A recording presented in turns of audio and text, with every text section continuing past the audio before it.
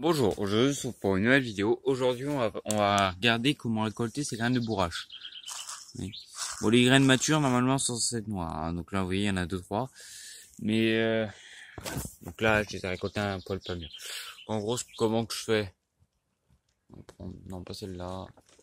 Non pas celle-là non plus. Je vais peut-être en trouver une bien. Là. Tac. Hop, je coupe. Je récupère ça. Hop, je l'ouvre comme ça. J'extrais les graines. La pince, ça n'a aucun rapport. Hein, c'était, c'est pour le. Euh, tac, je prends le truc. Et le but, c'est d'extraire les graines. Voilà. Donc, je vais le faire exemple. Bah, au final, les graines étaient apparemment pas assez matures parce qu'elles sont carrément ma main. Et alors que celle-là, hop, je peux appuyer dessus un peu. Je suis dessus quand même, hein, je mets un peu de force.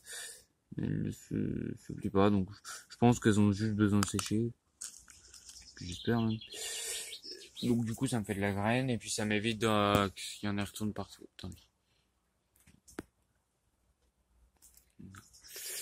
Là, euh, c'est pas compliqué de faire ça. Hop, prenez, trouvez. Ça pas. Non, rien. Juste un. Faire. On coupe, on récupère, on extrait et on a de la graine. Voilà. Et puis ça évite que ça en remette partout.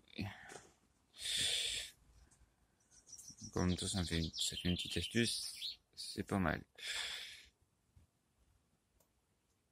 Bon après ça fait du temps parce que ça doit bien faire au moins une demi-heure dessus hein, pour récolter ça. hein. Bon oui, il y a quand même eu des cosses, hein, mais bon voilà.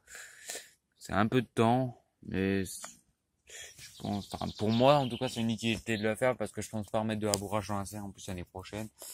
Au pire je repiquerai hein, parce que ici j'ai bien réussi à la repiquer étonnamment. Donc voilà.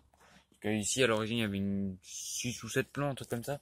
Il n'y en a plus que 3, et puis les autres sont, ils sont en bonne santé. hein. Celui qui a ce poignet par exemple c'en est un qui vient.